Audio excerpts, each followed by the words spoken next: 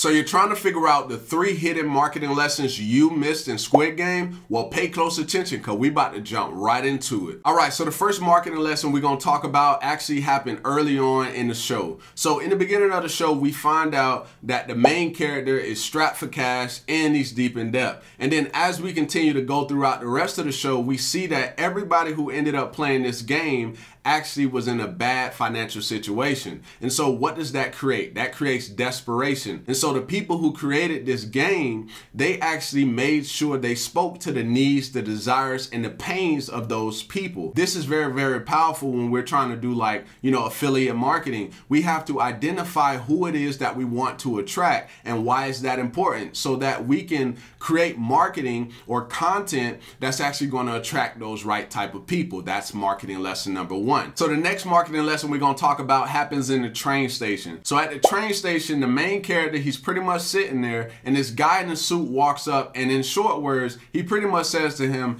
hey, do you wanna play a game? And if you win this game, I'll pay you a 100,000 won. So a 100,000 won in US is actually only $80. But for them, it would be more beneficial, especially since they did their, their research on finding out the needs, the desires, and the pains of all their people, which was the first marketing lesson we talked about. So with them understanding the type of person that they're dealing with, now it makes their marketing easy, which is what we're leading into now. They have to create interest and build trust. Now the way that they do this is they tell they he tells the guy, "Hey, I'm going to pay you a 100,000 won right now." So now the guy has to make a decision. It's either I'm going to take I'm going to play this game and make this money or I'm not going to play the game. But of course, since he's in a desperate state, he ends up playing a game game. Now the guy ends up winning, right? He ends up winning and the guy literally pays him the uh, 100,000 won. So now what did that do? That built trust. Okay, so they created interest by letting them play a game for free,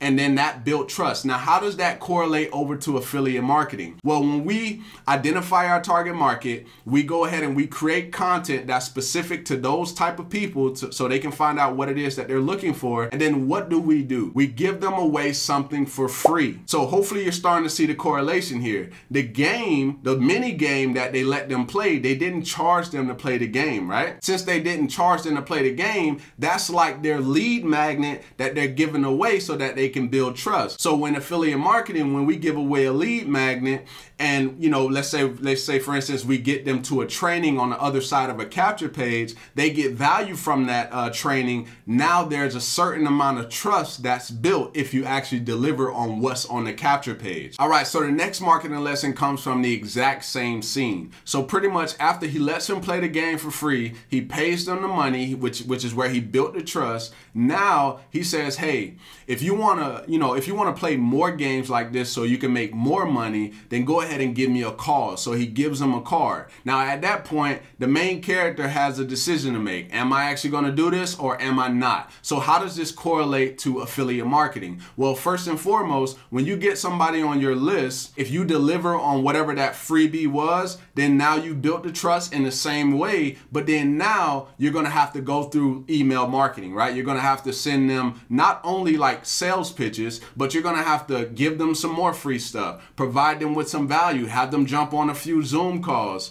uh, and then eventually you're going to make an offer to them, right? But in this case, in the movie, of course, they're not doing affiliate marketing, but they gave a call to action, and that person has to act. So in the same way, when somebody's going and they're receiving your emails, they're eventually going to have to take action. But in this case, the the guy gives them a card and then the, the, the person who's desperate, remember that, he pretty much eventually just says, all right, I'm just gonna go play this game. So that was the decision that was made. So think about, you know, these lessons that I talked about with you here today and start to apply those inside of your business to really start to really get those results that you're looking for. So hopefully you got some value from this video. And if you did, definitely go ahead and give me a thumbs up. And if you want my number one recommended way to get more visibility for your business, go ahead and click that first link down below in the description description. That's going to be a free training I put together so you can start to implement some of the strategies that I personally use to grow my business. And with that being said, I look forward to seeing you